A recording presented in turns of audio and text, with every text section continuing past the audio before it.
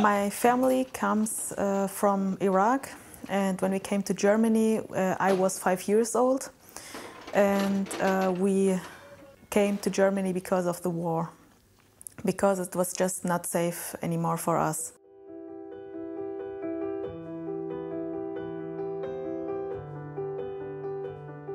I didn't understand where we were going. They didn't tell me anything because of the police. Um, it was just too dangerous. When we came to Germany, there were no um, help organizations for refugees. They just put me in the kindergarten. And I was really afraid because I was um, desperate for my family. I was with people, I didn't understand their language and I didn't know where I was. Um, so I went to the school without knowing any German word, without um, anything about the system, how is it working. I didn't understand anything, but I was stubborn. I learned German because I read many, many German books. I watched a lot of German TV and by time I learned to speak German. My grades became better because the only um, thing that uh, made my grades bad was my language. I was fully integrated in my class with my school. I had friends. They came over to us, to our house. I went over to them. It was just everything perfect. And then we had to move. We moved to Stuttgart and everything changed. 2014 and 2015, we had mm, uh, we received many uh, immigrants um, to Germany, and I was engaging with many of those uh, young immigrants, and uh, and we came to a problem. Many of those young immigrants, after they get the asylum um, uh, seeker uh, status and they officially live in the country, they were facing a problem uh, to get a flat, to get a place to, to live. We came together in the village where I live, Korntal, with some people who are voluntarily, and we said, well, what could we do for those young people? And many of those young people, when they come under age, the government take care of them of everything. And when they become 18, they just leave them out. So that's why we said, well, what could we do to take care of those uh, young people who are over 18. Yeah? And then we came very, very quick with the idea of renting a flat with many uh, rooms inside. We started in 2016 mainly with uh, people from Syria and Afghanistan. Um, then in 2018 it switched to African countries. Our first aim, and also my first aim, was that um, we uh, rent them a home. Um, they, all of them come from, uh, from cultures where family is a big thing. And so our, our aim is to, to be a uh, kind of German family for them. And at the moment we have 14 places to live here. We plan for them for the first year that they uh, um, feel well with us, that they uh, uh, learn how, where they are, they learn the language very well, and in the second year, we uh, develop with them a plan for their life so that they find out what they could do in their future in Germany. And then we look after a, a job for them. And so they start their future with us and then they leave and uh, um, go on in their lives. And through that, those young people started to learn the ethics of working in Germany because it's also a culture for itself. And we thought if in the future they will have to work somewhere, they need to start somehow. We looked for a place around our area and we called those people. Can they come and make an internship? You know, just to work. And you know, all of our young people who went and did this internship, car mechanic or a carpenter or at the university, all of them succeeded. So the project that we have is not only something that is helping the immigrants, it's also helping the society. To show the society integration can work. It is a hard work, but it is not impossible. I think at first they have to settle down, and that means that they also can deal with their past.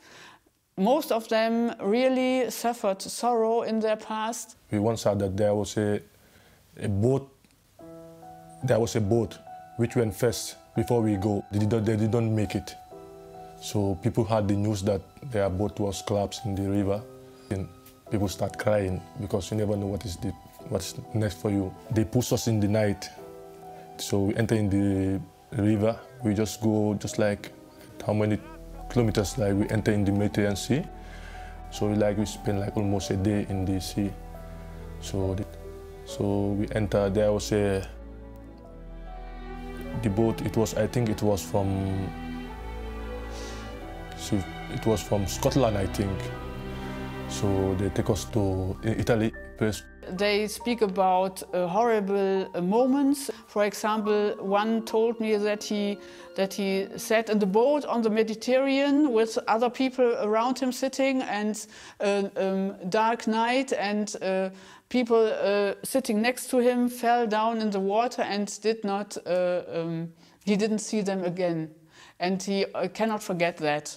Another one told me that he had to um, go through the desert for one week and he went by um, in a caravan which got uh, uh, went very fast. I did not know that that the, they go so fast, and they had to sit and uh, hold themselves close so that he, they do, did not fall around uh, down. this is the main problem that they faced death that intensively that they cannot forget it. And they uh, tell us if they get quiet, if they get alone, they start thinking about those experiences and cannot forget them. So the day I was going, it was I was very lucky because the the train stopped there, but the police don't enter the the, pla uh, the place I was. They enter the front, but they don't enter the back side, and I was in the back side. I said, okay, maybe today's my day. So they go out, then the, the train gone. So I go until Lugano. I have to change train now, Lugano, to go to Basel. There was a train from Basel going to Freiburg. I enter in the train. I enter, the time I enter in the train, I go to the toilet. So I was trying to observe. So the train go to until Freiburg. I know now we are in Germany now. So I go out from the toilet, then I sit. So from Freiburg, I think I go to until from Freiburg I come to Stuttgart. So I was there. Then for meantime, I sleep there just like one day. Now they take my fingerprint, they take my name and other stuff. They take my height. I will stay in Sigmaringen. I stayed there for almost eight months. People were trying to help me, but I don't have the opportunity to go to school. So I, I cannot speak the language. So one of my friends told me, I told him, there's Quan House. He told me this place. Like, you know, they help people for interrogate, so you have to, they take you to school, you have to learn the language and other stuff. Okay, I said, yeah, it's okay. That is one, one of my friends, her name is Lum. I told, okay, that's a good idea then. Then I have to try it. So I come here, I speak with Monika and Stefan and Mahia. So they explain me the rules and the regulation of the house here, what to do and other stuff. They told me, okay, here, if you come here, it's like it's like a train. We can help you for you to go further. I saw the, the increase of immigration in, in my school and uh, also around other schools. Our main issue of immigration is uh, that the children has to learn the German language um, as fast as possible. Yeah? And I think this is uh, the, the key, uh, in my opinion. So integration is not assimilation, but also is not a parallel structure. So what is integration? For me as an immigrant, integration means for me to find my place in the society. I need someone to tell me two things. To tell me what are my duties as a citizen in Germany and what are my rights. And I can only demand my rights when I uh, fulfill my duties. I'm very skeptic about the way that the German government have been dealing with the issue of integration. If you see these integration courses, they teach us uh, the language, which is good, you know, but we need to tackle the issue of culture. To be honest, I never experienced discrimination from any German people. No direct discrimination. I experienced discrimination from my own uh, people, from people from Middle East, because they are Muslims and didn't understand how somebody who is from the Middle East could be Christian.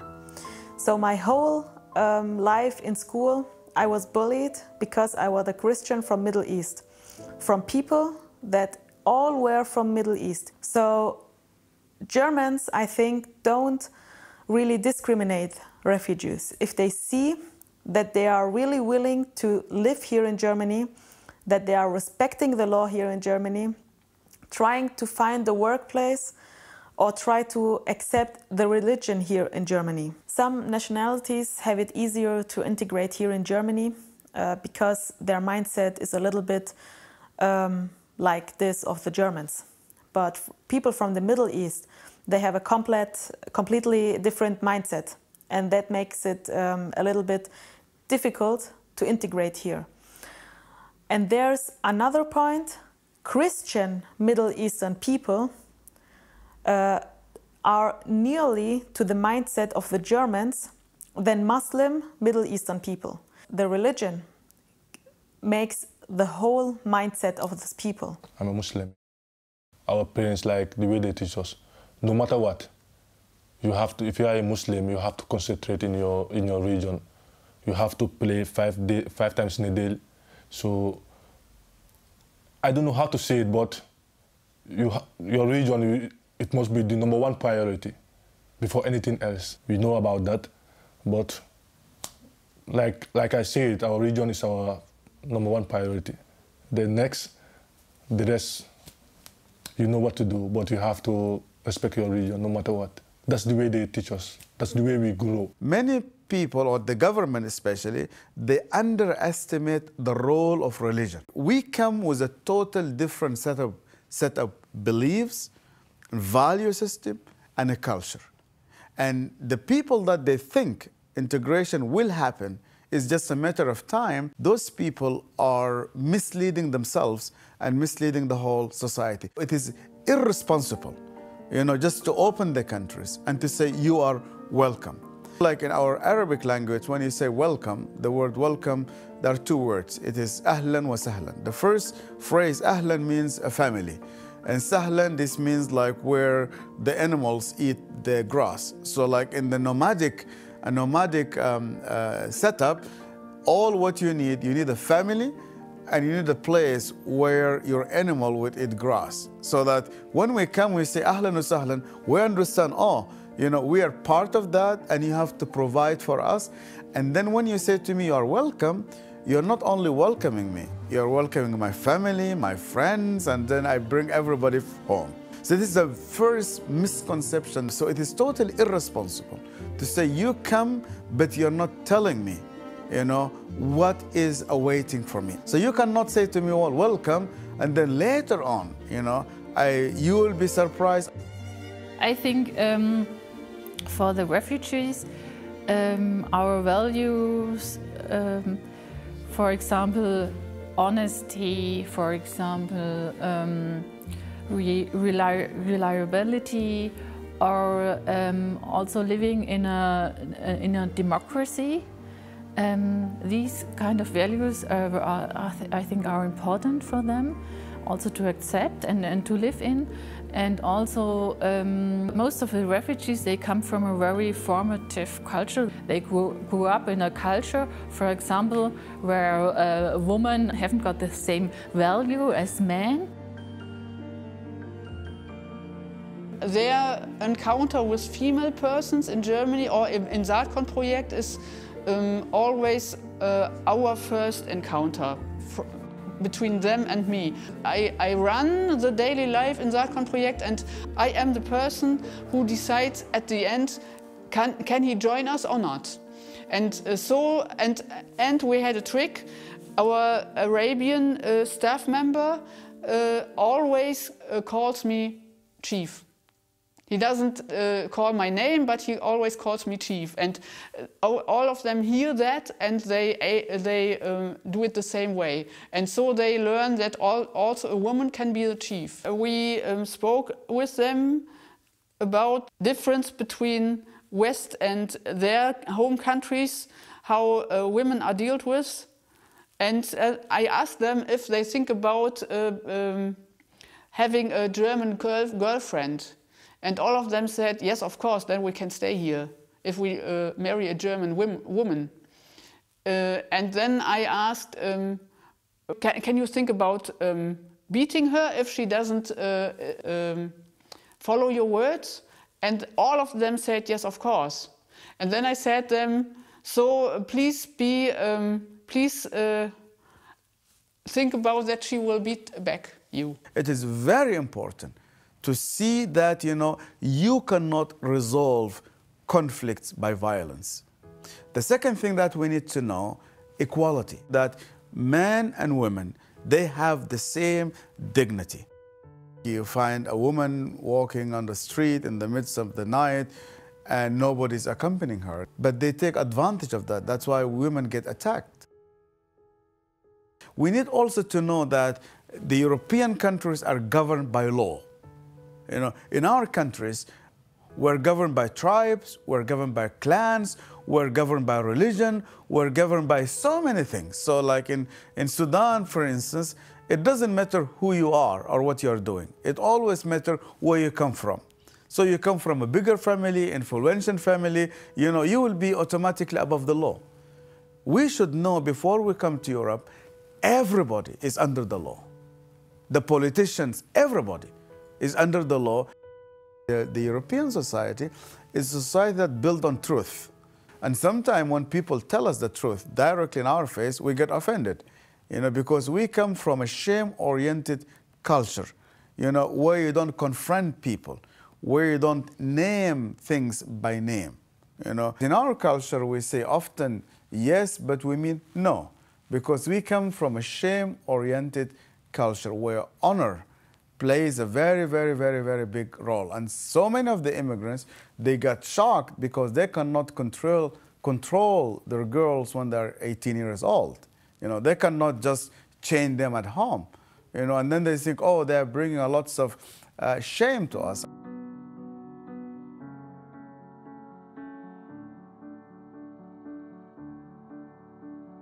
Well, as uh, Western people, um, you're seeing the good in Middle Eastern refugees because it's your way of thinking. You think um, these poor people, they come to Germany because of war, because um, of anything else, and um, they need help, so we need to integrate them, we need to help them, we need to support them. And it's very beautiful thinking. I totally um, agree and support this, this thinking. But Western people need to know that Middle Eastern people, um, especially Muslims, don't think very good about Western people. They will smile in your face and behind your back they will talk about you. That's just the mentality. I think the role of religion is a big issue in immigration um, problems. Sometimes they want to stay with their in their Islamic uh, background. And uh, the, the problem is, I think, then that um, maybe um, so we get so, uh, a so second culture, second cultural uh, society, and this I think this uh, brings us problems. Sometimes I think it can be an obstacle to integrate because um, Islamic culture is uh, su it's such a different culture to our uh, to our society, to our Christian um, society. So um, sometimes I think religion is an obstacle to immigrate. Europe is actually emerged out of this Judeo-Christian faith. And this is what people on the right, they need to understand. To act only out of fear is not going to help us. our message will be to the Muslims, you know, that our picture of a God, and this God is love. We believe in a God that who does not need people to defend him. We believe in a God that he will not send anybody to kill anyone. We um, recognize that they uh, take their religion much um, more serious than we Germans. Um, and so we start talking about this with them right from the beginning. We tell them uh, um, Saatkorn is built up on the Christian values and uh, this is our um, measure and they have to accept that and if they can't do that they should better not come. But when they are here we see they uh, we have hindus we have muslims from the different groups muslim groups and we tell them always uh, in our uh, buildings there will be no war. We speak about conflicts we, we sit together and we uh, dis discuss it and find solutions so that everybody can live with it. They can um, um, live their religion and we together build a new culture kind of uh, mixed up with with elements from their cultures and uh, um, of course mainly a German culture because they live here now and for me it's important that they uh, can live in in between Germany and uh, feel well there but also do not forget their, the values of their own culture. Um, and so that they can, uh, we want them to, to build up a new identity. One normal question is, they ask us is, why do you do all that for us? And we, our only answer is, because God loves us, we love you and want that your lives will uh, uh, become good.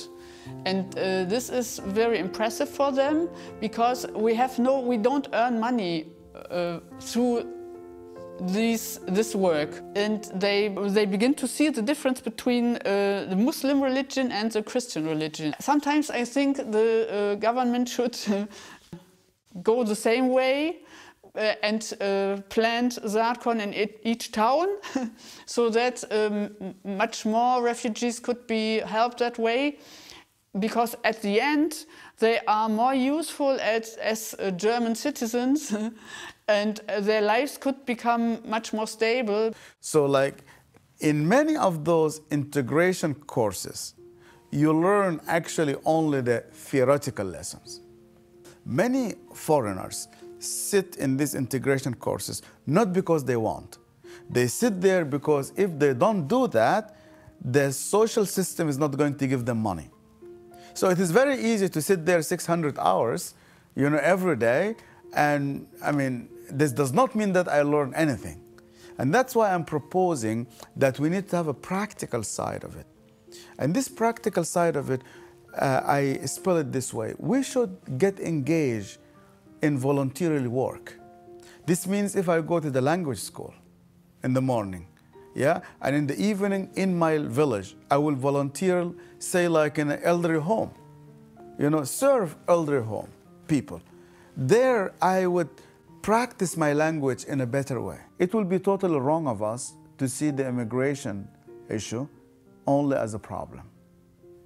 You know, there is a lots of good side of it. We need to speak about that things because there are so many people in Europe who are very naive. Yeah, my future is that uh, I want to stay here, so like make house building, like work in a restaurant, you know, or baker. Baker is to make bread and other stuff. But since now I have more experience making noodles, like this other stuff, because now I'm long here now. So I prefer to make, to do restaurant. I prefer to work in a restaurant maybe to make noodles or to make other stuff. So that's what I want. So I want to build here my future. It depends. They allow me to stay here. So that's what I want now. It's very important for you to go to school, for you to communicate with people. If you're going to communicate with people, you cannot go. So you have to speak the language. You should never underestimate the power of language. Because if you don't uh, speak the language of the country you're in, you don't have the chance to integrate because you cannot communicate with people.